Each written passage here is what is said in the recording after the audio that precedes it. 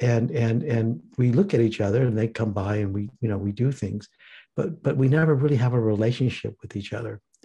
And we still have our stereotypes. And then i started checking in with my black friends.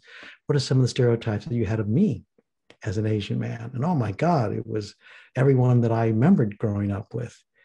Um, but also one of the ones i thought was was was um, besides the idea unemotional unathletic uh, um, always smart go to college good at good at accounting math etc but not good at sports not not uh, asexual was another one. And um, and and and so uh, but the other one that, that I that was very profound which came up in the color of fear was is that we benefit on the backs of black people because of the civil rights movement. We got the jobs.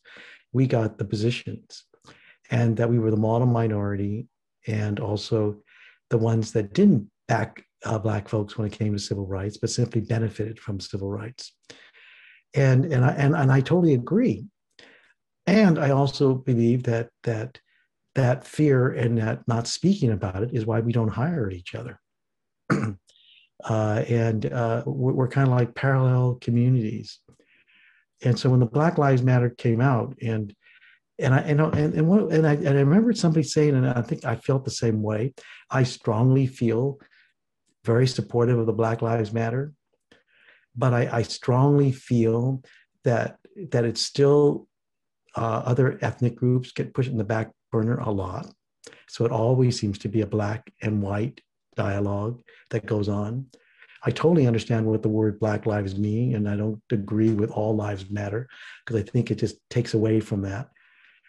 But I still believe too is that when you just shared just now that the more recent uh, beatings of Asians, but it's been going on for a whole long time. And uh, also Asians not getting promoted because that stereotype that we're not assertive enough, but we're great team players, but not necessarily assertive enough, enough or even stand up or, or stand up for other groups, and that we just are very insulated.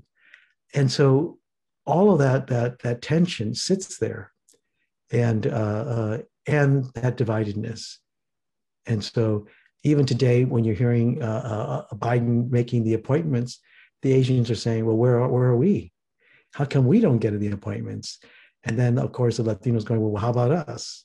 You know, and so it's almost like you know, always that that thing about the the we're pitted against each other for the few jobs that there are. and so, I think that that that's partly why when I did my film, was I wanted to have lots of representation from different groups to show us in having a dialogue together rather than just Asians and then just whites having that that struggle. And so I remember on Oprah Winfrey, she was not going to put me on unless I just had uh, Victor Lewis, myself, and the white guy. Victor Lewis is African American. African American, and so it was, she really wanted to make it a black white thing, and I just said, "Well, how about the Latinos and, and you know and the rest of us?" You know, and other than myself being the director. And so I, I was really adamant that we all be there to have a voice.